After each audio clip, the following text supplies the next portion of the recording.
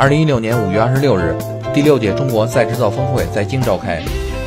众所周知，旧件回收公众认知度低，再制造成本偏高，一直是阻碍再制造行业发展的三大主要挑战。中国的汽车后市场宽广且沉杂，并不利于迅速建立一个有效的逆向物流体系。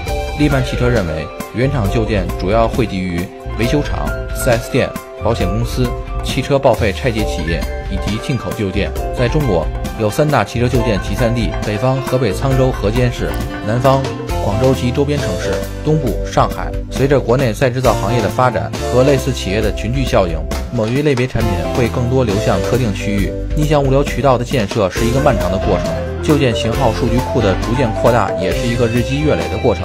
我们要明确旧件品质标准，要知道需要的旧件是少数，而不要的是多数。